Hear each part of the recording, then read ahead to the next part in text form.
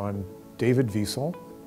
I am a member of the myeloma division at the John Theurer Cancer Center at Hackensack Hospital. I'm also a professor of medicine at Georgetown University where we have an affiliate myeloma program.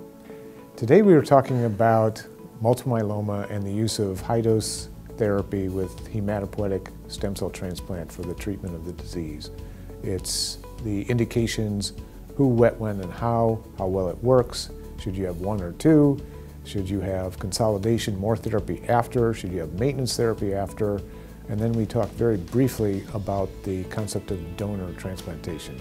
So the question arises is when to do the transplant, who to do the transplant in, and what, what have we learned in the last five years or more? The answers to the questions are that transplant has been compared to no transplant in four recent trials.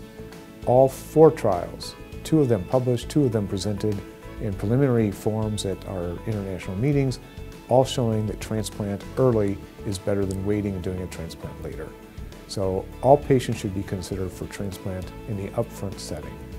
The other messages that are important are that the deeper responses end up with better outcomes. The more disease you get rid of, the better your remission duration and probably how, how long you're going to live is all included in the depth of the response. We are fortunate here at John Theurer Cancer Center to have the whole spectrum of disease and course of the disease managed and treated by an excellent team of physicians, nurse practitioners, nurses, and ancillary staff that I think is second to none anywhere in the country or the world.